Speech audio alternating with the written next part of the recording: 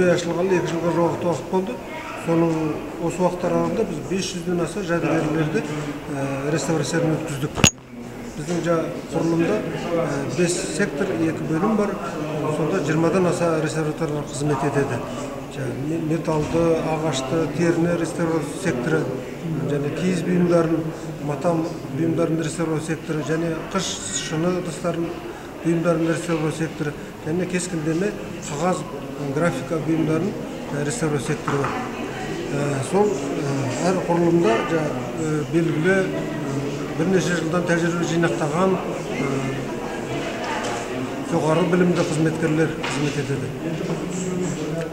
Соның ішінде мысалы мына металлды реставрация секторы бар сонда жаңа бес қызметкер бар. Зергерлікпен жаңағы ағаш бұйымдарын реставрация секторымен мына соның бірі мына шашпау мысалы осы шашпау біздің ең алғаш қолымызға келгенде бірнеше бөлікке бөлінген мына кейбір бөліктер жетіспейді сондай жағдайда келді. Бұл енді ата бабамыздан мұра болып қалған шашпау сонау он сегізінші ғасырда жасалынған осы музей қорындағы. Біз соны бұрынғы ең алғашқы кейкіні келтіруге тырыстық. Және келтірдік деп ойлаймыз өйткені жаңағы жетіспеген жерлерін бәрін дәнекерлеп тоқып өрнектерін қайтадан жаңғыртып мысалы міне бүгінгі осы көрмеге осы шашбауларды қойып отырмыз бүгінгі көрмеге 116 экспонат қойылып отыр көптеген жаңағы 400-ге тарта экспонаттар музей экспозицияларында көрмеде тұр бұлардың бәрі жаңа бұрыннан осы музей қорларында сақталған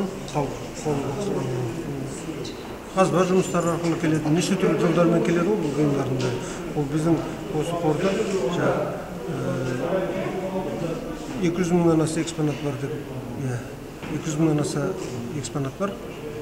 Оның енді қорларымызда барлық түрлі әртүрлі экспонаттар бар. Сонау сақ заманынан бастап қола дәуірі бар орта ғасыр бар қазір этнографиялық бұйымдар және қазіргі заманғы бұйымдар барлық ұлттық мұра музейімізде сақталған. Бізде арнайы реставрациялық кеңес бар. Сол кеңес арқылы сол кеңес мүшелері біздің ғалымдарымыз суретшілеріміз қызметкерлеріміз бар. Бірнеше адамнан құрылған реставрация кеңес. Сол кеңесте алдын ала біз зерттеп осы реставрацияға түскен заттарды солардың ұйғарымымен шешімімен жасаймыз. Сол ұйғарым шығарады осыны былай жасау керек мынандай әдіспен мынандай қазіргі заманғы тәжірибелермен жасау керек деп сол шешім арқылы реставратор соны соны қалпына келтіреді. Содан кейін реставрация жасап біткеннен кейін сол қайта сол реставрациялық кеңестің шешімін қабылдап аламыз. Дұрыс жасалды ма дұрыс жасалған жоқ па деген сияқты солай